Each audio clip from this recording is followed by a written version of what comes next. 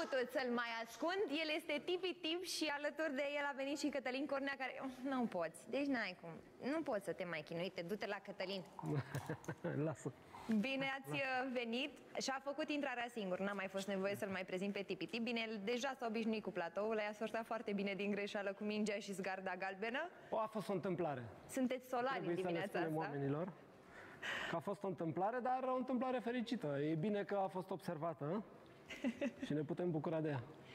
Aveți un concept nou astăzi uh, pe care îl prezentați, The Doctors. Da, da, astăzi uh, vom vorbi de Doctors. Este un proiect pe care l-am așteptat de mult, l-am gândit, am dorit să se întâmple și cu ajutorul unor oameni foarte mm, inimoși care s-au implicat și care au format practic echipa Doctors, acest proiect a început să, să crească. Este un concept într-adevăr nou, au mai fost încercări, dar uh, din păcate nereușite de-a lungul timpului, însă Doctors și-a propus într-adevăr să uh, din punct de vedere al conceptului, să aducă mai multă sănătate și fizică și psihică oamenilor și să mm, îmbrățișeze cu adevărat uh, ideea de viață independentă a oamenilor cu nevoi speciale prin intermediul acestor uh, cățeluși.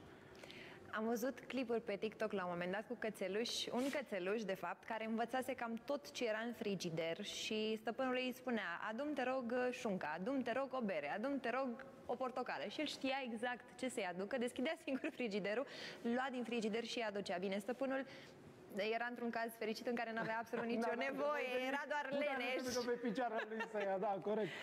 Uh, da, să știi, este genul ăsta de dresaj, este exact uh, dresajul potrivit pentru câinele uh, numit generic service dogs, dog. Câinele care ajută, câinele de asistență, care însoțește oameni cu, cu probleme de mișcare locomotorii în scaun rulant și prin intermediul câinelui aceștia pot să mai au mai multă libertate de a face lucruri, cum ar fi într-adevăr să, să deschidă o ușă, să ridice câinele ceva de jos, ceea ce este foarte greu, este sport extrem pentru oameni care nu se pot mișca foarte mult. Și uh, lucrurile acestea chiar sunt utile și oamenii beneficiază de asta, dar numai în urma unor uh, momente de, de dresaj special a câinilor pentru acești oameni speciali. El este nu mai are răbdare?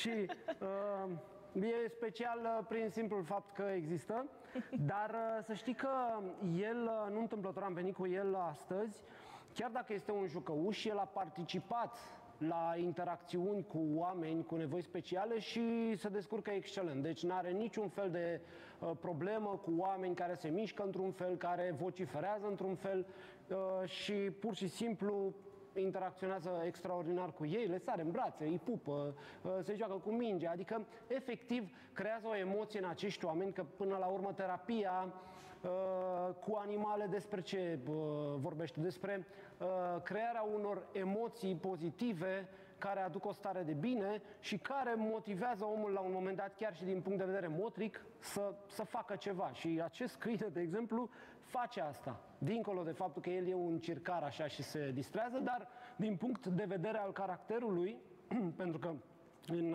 acest uh, tip de scuzați, în acest tip de uh, terapie cu animale, caracterul câinelui este foarte important. Este el oferă, este, este cel care oferă așa din dragoste, nu?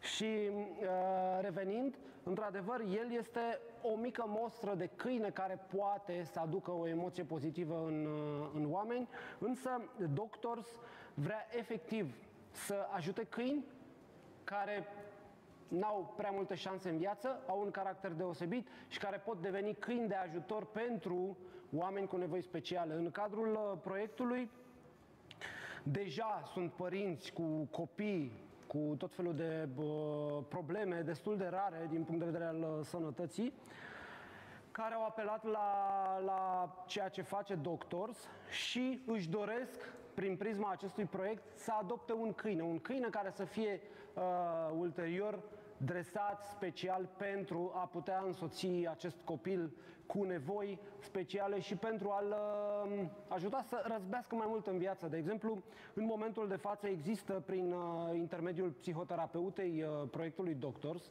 Ioana Lucaci, care are foarte multă experiență cu astfel de cazuri. Deja lucrează, unul din doctorii noștri este Flynn, un setter englez al Ioanei care se, se comportă extraordinar în preajma acestor copii și copiii deja se manifestă altfel. Părinții observă asta și își doresc pe baza acestui uh, uh, exemplu, își doresc deja să adopte propriilor câini, deci o șansă în plus și pentru câinii care au nevoie practic de, de, de oameni și astfel să existe o echipă om-câine special uh, construită pentru a face terapie psihologică, terapie fizică și, într-adevăr, să fie uh, animale de uh, terapie, câini de ajutor. Cred că orice am face noi ca oameni, și acum mă refer la clipurile pe care le putem vedea pe YouTube, de la cereri în căsătorie, la habar n-am, surprize, sperieturi și așa mai departe, nimic nu trezești o emoție mai puternică decât un animal care ajută și m-a impresionat teribil un clip în care un cățeluș ajuta o fetiță care avea ambele mâini amputate să se îmbrace. Mi s-a părut fabulos cum învățase să-i tragă bluza efectiv pe cap, să o tragă un pic da, în spate, da, să o da, da aranjeze, da, îi făcea așa cu lăbuțele și am rămas efectiv șocată de acest e parte comportament. Din, uh, din acest uh, proces al dresajului special pentru asta, pentru că de multe ori mișcările lor sunt reținute pentru, din cauza afecțiunilor fizice și atunci câinele învață efectiv să apuce mâneca și să tragă, ajut, să apuce ciorapul și să îl tragă din piciorul omului. Ceea ce contează pentru noi sunt mișcări absolut uh, firești, simple, uh, uzuale, însă pentru, pentru oamenii care nu pot să facă asta în mod uh, normal, câinele este o mană cerească. Și noi vrem, pentru că în uh, proiectul acesta, într-adevăr, uh, încercăm să schimbăm și mentalități mentalități că nimeni nu a dat cu adevărat atenție acestor oameni cu nevoi speciale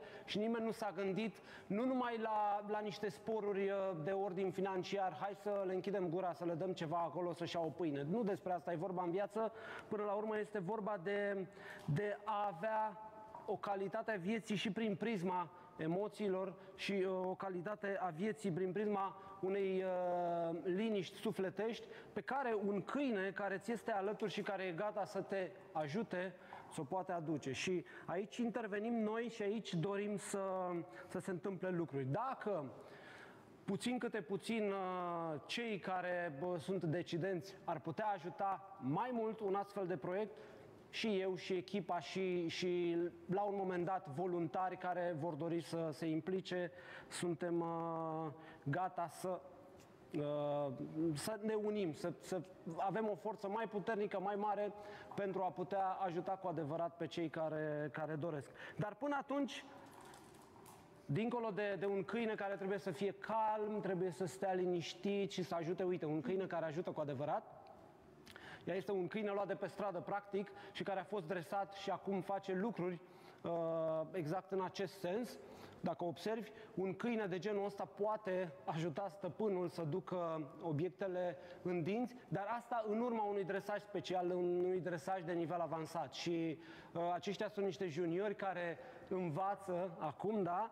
Uh, proiectul acesta își propune să instruiască oameni care să devină, printr-un mod de terapie ocupațională, să devină dresori. Dresori ai unor, unor astfel de câini asistenți. Uh, lucrăm deja, avem doi cățeluși, sunt pui acum, uh, chiar la un centru din voluntari, da, unde sunt uh, rezidenți cu nevoi speciale cu adevărat. Doi dintre aceștia, două, două fete, Mirela și Anca, Uh, sunt în pregătire, au început uh, ședințele de a învăța să lucreze cu acești cățeluși care sunt ai centrului da? și care vor deveni uh, câini de, de terapie, de asistență și fetele respective cumva se vor califica prin faptul că învață, sub uh, supervizarea mea și a psihoterapeutei, învață tainele dresajului canin și se vor ocupa de acești cățeluși, vor crește alături de dresorii lor da? și acești oameni, cum uh, dezvoltând uh,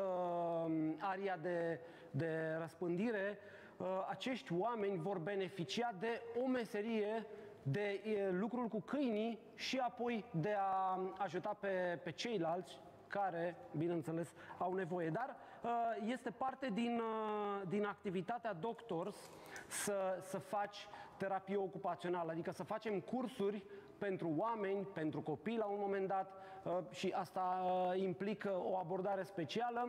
Să învețe să dreseze câini și apoi mai mulți câini din adăposturi vor avea șansa de a lucra, de a deveni mai deștepți și de a avea uh, posibilitatea să ajute la rândul lor. Ea, de exemplu, a fost, uh, este o cățelușă luată de pe stradă și care a făcut nenumărate vizite la case de bătrâni, la uh, case de copii, la grădinițe, la școli da, de gimnaziu la centre din acestea cu, cu oameni cu nevoi speciale, tocmai în sensul în care să ofere un pic din, din ceea ce are ea bă, și sociabilitate, și înțelegere, și dresaj, pentru că atunci când am fost la casa de, de bătrâni, uh, acum mulți ani de zile, prin prisma dresajului pe care această maidaneză luată de pe stradă uh, l-a avut, oamenii respectivi au fost suficient de motivați să se miște mai mult, să, să se deschidă, să facă mișcări prin care, în interacțiunea cu câinele, exact cum făceai tu cu tipi tip mai devreme, de exemplu, el, el vrea să... Uite, gata, vrea să se joace, dar uh, în momentul în care îl mângâi și el e un cățel bun, omul simte. Și după ce îi spune, gata, a culcat, ia așez. Așa, înapoi, înapoi, sus. Așa. Bravo. E, dacă un om care nu se așteaptă la lucrurile acestea din partea unui câine vede așa ceva automat, își nutrește o emoție pozitivă și își dorește asta. interacțiunea asta cu câinele și atunci ă, astfel înțelegem că dresajul unui câine care va fi și de asistență, va face și lucruri extraordinare, așa cum vedem aici, ă, aduce un plus bunăstării oamenilor și, și asta vrem să facem prin Doctors, dar vom face cursuri în care mai mulți tineri, mai mulți oameni vor descoperi dresajul și la un dat îl vor folosi într-un scop social pentru a ajuta alți oameni. Mie, ce mi se pare fascinant la ceea ce faci tu cu Tipi e că și eu Înapoi. și colegii mei, care am avut pe rând această mingiuță galbenă, am reușit să interacționăm cu el în același mod în care tu interacționezi cu el. Și ne-am așteptat da, poate da, un da, câine da. să asculte doar de stăpânul lui, dar iată că nu e... Nu, dresajul special în cazul lui Tipitip și a altor câini pregătiți de mine este că dacă urmărim un anumit scop cu, cu ei, îi învățăm să interacționeze cu oricine. Și, practic, uh, prin interacțiunea cu, cu ceilalți, inclusiv ea este unul din acești câini, scrie acolo Maidanez de ajutor pe bandana lui, uh, de fapt este o ea, Tim se numește, uh, prin posibilitatea asta de a interacționa cu oricine, atunci mai mulți oameni pot beneficia de ceea ce, de ceea ce știu ei. Dar uh, aici este cumva secretul care va fi dezvoluit în, în cursuri uh, anume Doctors, uh, este secretul pregătirii unor, unor astfel de câini ca să poată să, să interacționeze, uite, și cu tine, și cu el, și cu el, să n-aibă niciun pic de, de rețineri, ba chiar să, să aibă o orientare către oameni și o plăcere de a interacționa cu aceștia, chiar prin prisma a ceea ce au învățat și contează foarte mult. Dacă n-ar ști nimic, de exemplu, ia vină mă încoace, vină mă încoace, hai sus, sus. Dacă n-ar ști nimic, n-ar putea să facă asta. Înțelegi? Pe când... Ia stai, stai, stai, stai. Uite, vezi? Printr-o comandă să poți să-i centrezi și să-i cobori starea până la un nivel la care stă să fie mângâiat, stă să fie atins în orice poziție și să n-aibă niciun fel de problemă, da? Dar totul se face din educație. Începând de la vârste mici, crescând puțin câte puțin către, către vârsta de adult în care el devine cu adevărat de ajutor și util, nu numai prin prisma a ceea ce poate arăta cu circăraia de rigoare, dar prin prisma uh, activităților sociale de care foarte mulți uh, oameni au nevoie din diverse categorii.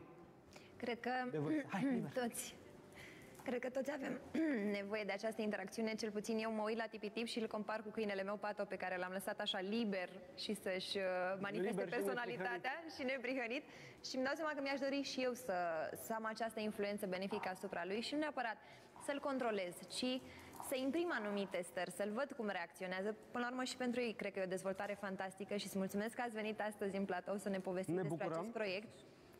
Stai, stai, încet. Sus. Sus, bravo, bravo, Doamne! bravo. Ia, ia, vine aici, ușor. Eu aș ușor, vrea să-l ușor. laud puțin pe Tipiti pentru că are și o memorie fantastică, s-a reîntâlnit cu aura producătoarea emisiunii și i-a dat un pupic peste mască așa.